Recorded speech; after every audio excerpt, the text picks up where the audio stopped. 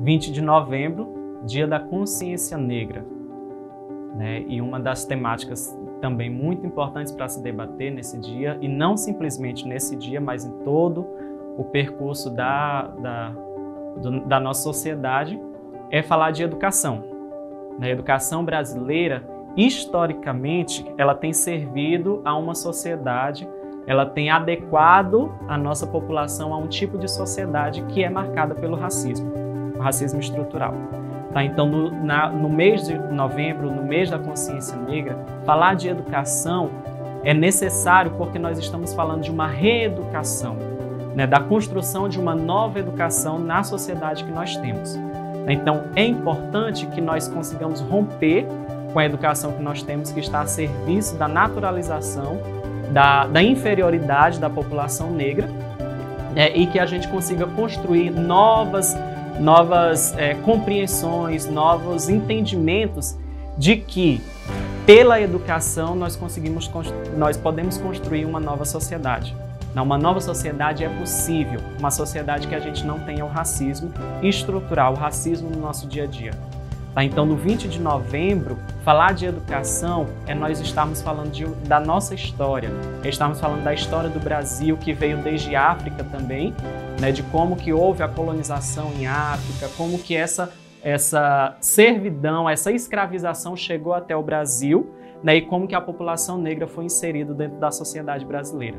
Então, historicamente, nós estamos é, compreendidos a partir de uma sociedade que tem um racismo estrutural. E falar de consciência negra é falar de, uma, de um reconhecimento de que esse racismo ele está presente. Ele não é algo do passado, ele não é algo que, que, que parou de, de existir. Pelo contrário, ele está na nossa, na nossa atualidade e nós temos aí várias reportagens, nós temos aí, a cada dia nós temos vários noticiários de que práticas racistas estão a cada dia sendo cometidas novamente, novamente e novamente. Né? Então, falar de consciência negra dentro do âmbito da educação é falar da possibilidade de construir uma nova educação. Uma educação que leve em consideração a história, né? leve em consideração o passado, para que a gente possa refletir sobre o presente e poder sonhar com um novo futuro. Né? Um futuro em que nós possamos construir uma nova sociedade a partir da construção de uma nova educação. Né? Uma educação que seja pautada na reeducação das relações étnico-raciais, do contato entre as pessoas, de eu compreender que a pessoa não negra, ela tem as mesmas possibilidades, ela precisa ter a mesma compreensão de sociedade que eu tenho enquanto pessoa negra.